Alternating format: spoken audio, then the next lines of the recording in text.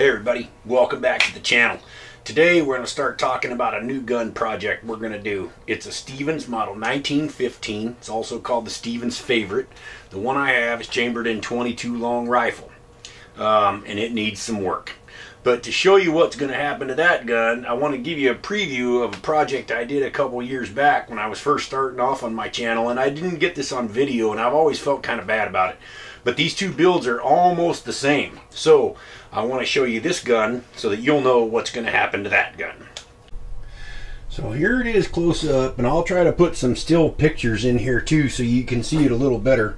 I bought this gun for $84 from my local gun store down here, Fall City Firearms in Fall City, Washington. Greatest little gun store there is. But anyway, um, when I bought it, this thing was in pretty, pretty tough shape. You couldn't see any case coloring left on the receiver. The barrel was was had a lot of dings in it, and it was half browned out. The stock just looked terrible. Um, the finish was peeling off of it basically. Uh, it didn't really have it had a it had an old butt cap, a whole hard plastic butt cap on it, but the butt cap was not original to the gun and didn't fit. It was it was about a quarter inch too big in a couple of directions. Um, and the forend stock was all beaten up too. Um, so anyway, this thing went off to Al Springer at Snowy Mountain Blue in Moore, Montana. And uh, the wood all stayed here with me. I did the woodwork myself, um, and I fitted the butt pad. Uh, Al case colored the receiver, and he did the bluing on the trigger guard, the trigger and the barrel and the case hardening on the receiver, or the hammer, and the beaver tail parts. Um, and then he sent all the stuff back to me. There is still one ding left in this barrel that he couldn't get out, and it's right there. I don't. I'm trying to get this so you can see it. It's a really deep gouge. It's like this thing fell down and, and hit a really hard rock or something. Um, it didn't go through to the inside of the barrel, but the gouge itself is deep enough he couldn't get it out. And that's really the only defect left on this gun. In other words, this thing is basically a brand new shotgun from 1905. That's the year it was built. Um, so this gun is actually at least 10 years older than the Stevens we're going to work on here shortly. Now I call this bad boy Grandpa's old shotgun. Even though it never belonged to my grandpa, um, I just had it in my mind when I bought it that this was somebody's grandpa's shotgun and and the old man probably died and the kids ran down to the gun store and sold it just as soon as they could so they could get their money and go buy an iphone or whatever the hell they want. Um, so anyway i was saying i did the stock work on this and I, I was pretty happy with how it come out. And i fitted this pad. I bought this pad i believe from midway. This is an old uh, it's a red pad and it is a Pachmayr decelerator um, and it's the only red pad I could find actually too. And I think on an older gun like this, if you're going to have a rubber recoil pad, uh, red is kind of the natural color. It's kind of what they were using back then. So that's how this gun come out. And I actually going to go shoot some video with this thing and just just blow some stuff up. I might get me some pumpkins and go hammering with this bad boy.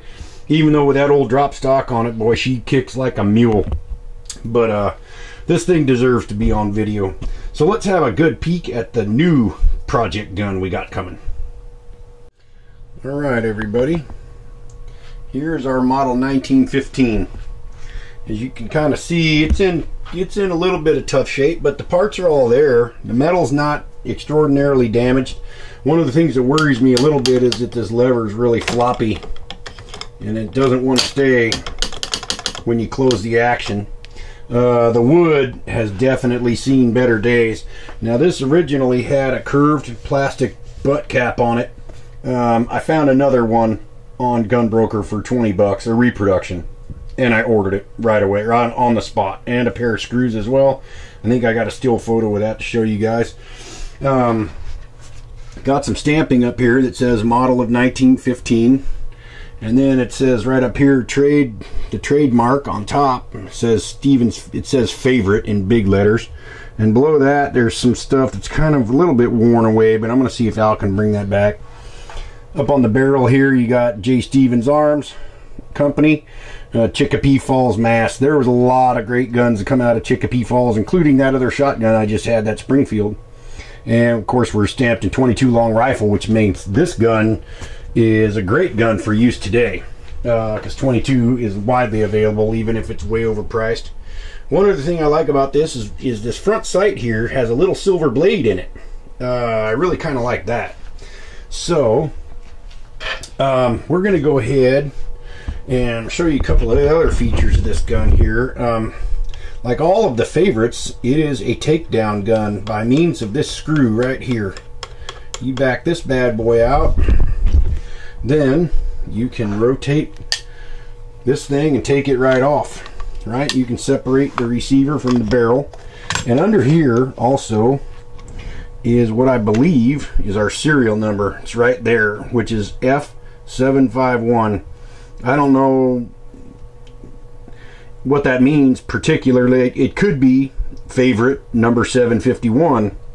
Um, maybe. If that's the case, it's a really early Stevens favorite. Probably the first or second year of production, really.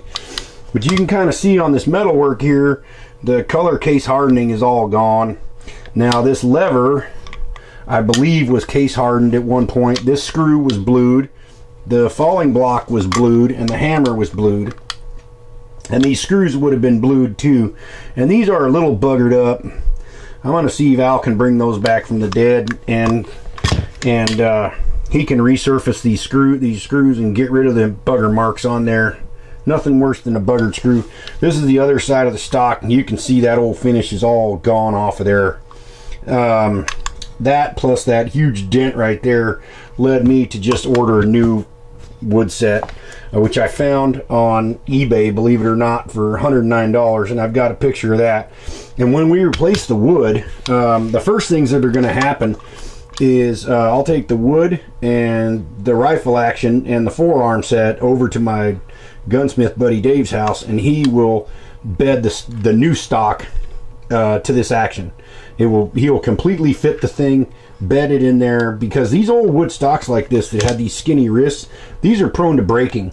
Now it probably won't happen on this 22, but it would have happened on that 12 gauge. And that stock it was uh, on the inside. He took some material out of there, a little bit on the inside, and filled it up with uh, with composite bedding material. So that stock is now brutally strong. It'll it will not split. It won't break. So I'm happy about that. Uh, will do the same thing to this rifle here, and we'll bed the forearm as well. Why the hell not? Um, the other real problem about this barrel is that it's got some pretty substantial pitting in it. Um, now, back in the day, everybody would always tell you, "Ooh, you don't ever have to clean a 22 rifle." Well, you know, you don't, but what happens when you don't is that the thing corrodes and the barrel ends up pitted and going dark. Now this barrel still has some shiny spots in it, but the majority of it's going dark. And what Al Springer is going to do is he's going to send this barrel off uh, to a guy he has uh, down in Albuquerque, I believe it is, that relines barrels. And he does a beautiful job. And when this comes back, this barrel will have an all new liner in it. A new 22 long rifle liner. It'll be recrowned. All these little dings right here will be gone. And you'll never be able to tell by looking at it that this that it's ever been screwed with. Um, it'll essentially be a brand new barrel from 1905. I mean, we got a bunch of scratches up here. I don't know what happened with that. This thing's definitely seen better days. I'd like to get a uh, better front. You can kind of see this front sight's bent. Yeah, this old guy's been hammered. I'd like to have a, a, little bit bigger silver blade on it, that's for sure. And we need a, a sight elevator for this bad boy here if we're going to use it. But the other kind of fun thing about this rifle is that you got these little holes right here. This appears to be drilled and tapped for a tang sight. So I'm going to do a little research on that and we're going to see if we can't come up with something.